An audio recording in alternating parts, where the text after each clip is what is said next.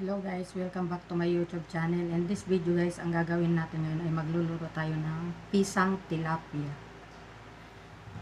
So, ito ang mga ingredient natin guys. Ito ang tilapia, black pepper, and then,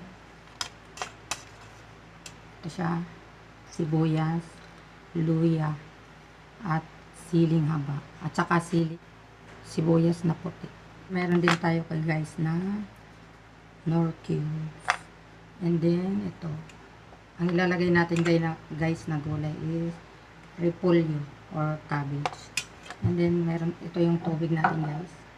At saka mantika and then asin. So, ang unang gagawin natin guys ay mag piprito tayo ng tilapia. Before natin siya gagawing pizza. So, let's start. So guys, unahin natin ang pagprito ng tilapia. Half cook lang ang pagprito natin. Natin ng mantika.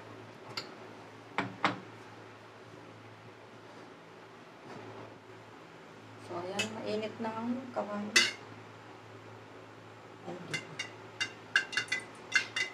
Tingnan natin ang tilapia.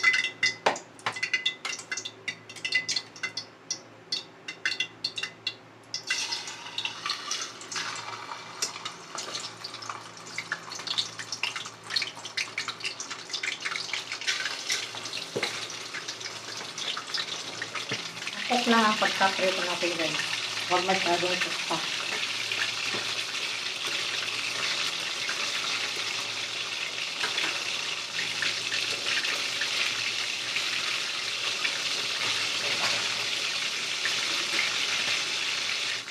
So ayan guys, ha- hanguin na natin ang ating prito.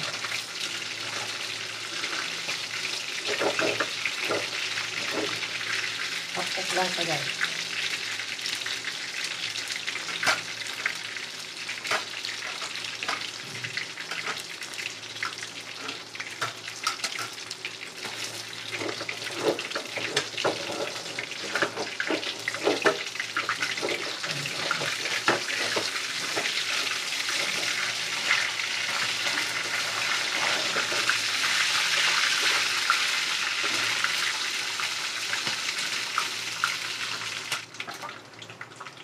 Sunod na natin yung iba. Dalawang piraso kasi ito guys.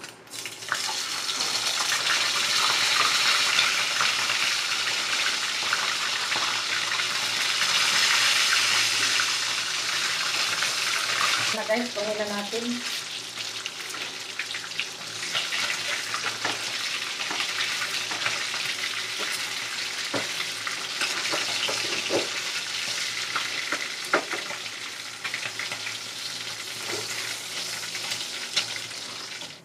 Iset aside muna natin ang ating pritong tilapia. Magkikisa tayo guys ng sibuyas at saka luya. So, lagyan natin ng kaunting mantika.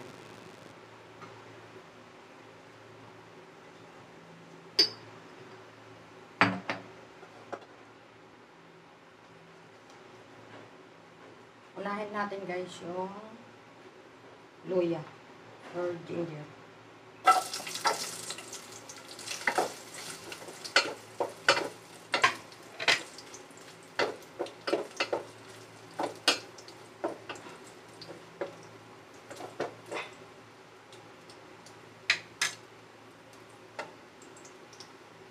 Pag medyo ano na siya guys, nagbabrown na yung luya, ilagay natin yung sibuyas.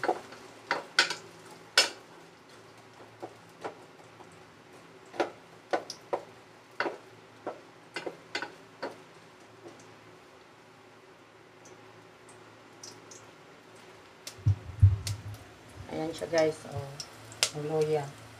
Pag nag-brown na siya, saka natin lalagay ang sibuyas. Walang bawang tayong gagamitin guys, kundi sibuyas, ano lang, luya.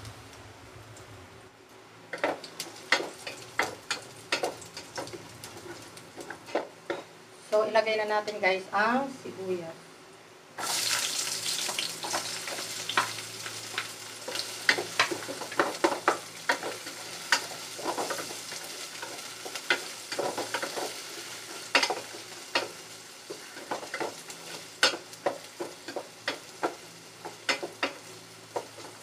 Ang. Saka natin isusunod ang pritong tilapia.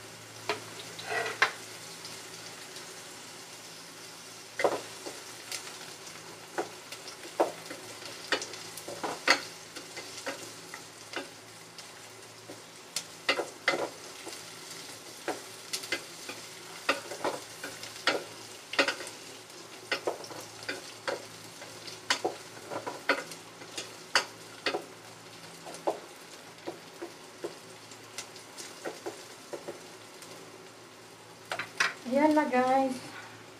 Sunod na natin ang tilapia. Ilagay na natin guys. Papakita ko rin sa inyo. Rilapit natin ang kalat. Ayan.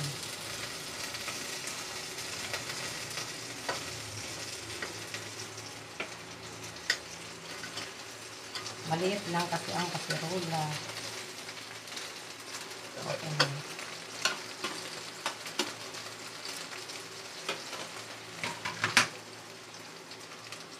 na. Ayan guys, linagay na natin ang tilapia. So, lagyan na natin siya ng tubig. Ito guys is hinugas to ng bigas. Pangalawang hugas ng bigas to guys. Yan. Para kumulo.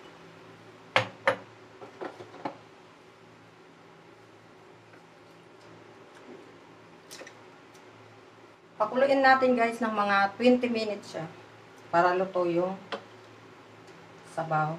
Yung tubig, kumulo. Ngayon guys, ilalagay natin yung paminta. Black pepper.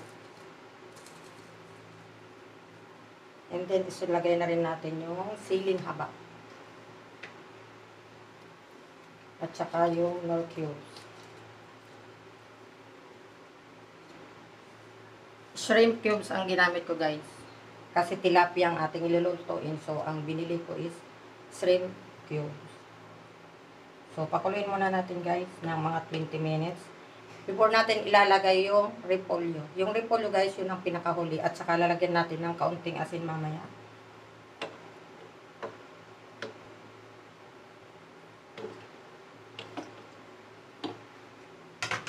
So, bali ito ang pinakahuling lalagay natin repolyo.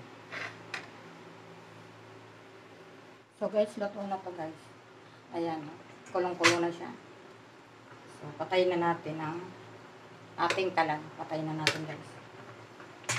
Luto na siya. Guys, luto na ang ating pisang tilapia guys. Sana guys, nag-enjoy naman kayo na sa aking, sa aking video. At don't forget to subscribe and like to my YouTube channel guys and share it.